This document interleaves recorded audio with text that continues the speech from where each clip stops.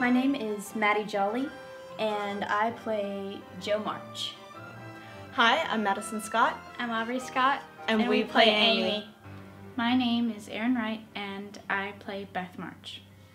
My name is Claire Thompson, and I will be playing the role of Meg March. My name is Marmee March, and I am the mother of the Little Women.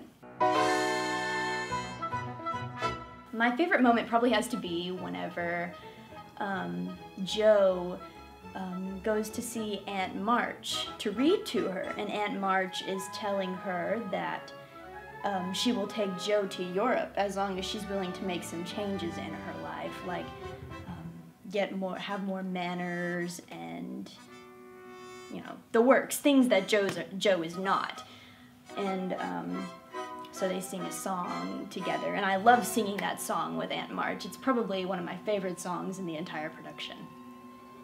Uh, the interaction that I have with Aunt March, Lisa Martin, I've known her forever, and it's just a really fun little part of the scene. Mm-hmm. And so I've never gotten to act with Lisa. I've worked with Lisa in several shows, but she was always on tech, so I like that, that moment a lot.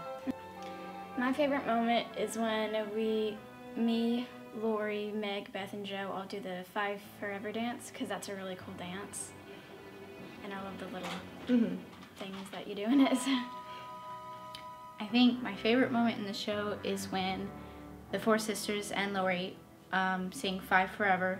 It's it's a really fun song. It's fun to sing, and there's like a lot of energy on stage, and like it's just happy, and it's a good moment.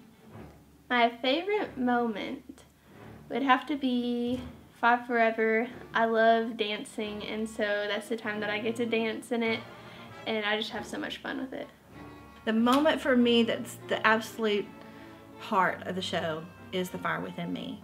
It brings me chills every time I see what Jo March does with her grief.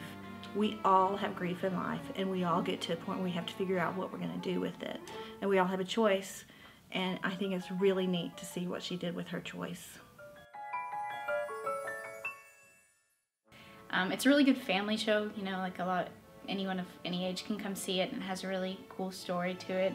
And it's just fun to watch, and you like fall in love with all the characters, and people will have fun seeing it. Yeah, it's really inspiring. I think everyone should come see this show because it's a great family-friendly show about a about an amazing book.